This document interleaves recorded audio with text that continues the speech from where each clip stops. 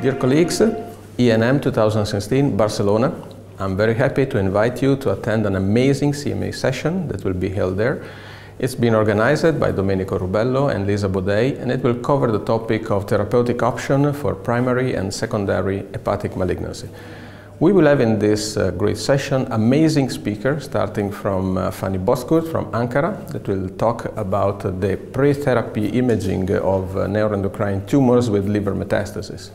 And then we will have uh, Professor Paulson from Liverpool talking about the systemic therapy of patients with neuroendocrine tumor to be treated with the DOTA peptides uh, either labeled with yttrium-90 and lutetium-177.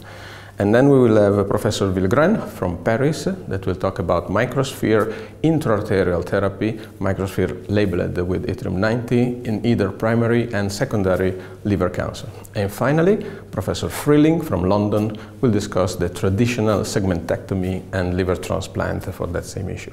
I look forward to see you all at this amazing session at EANM 2016 in Barcelona.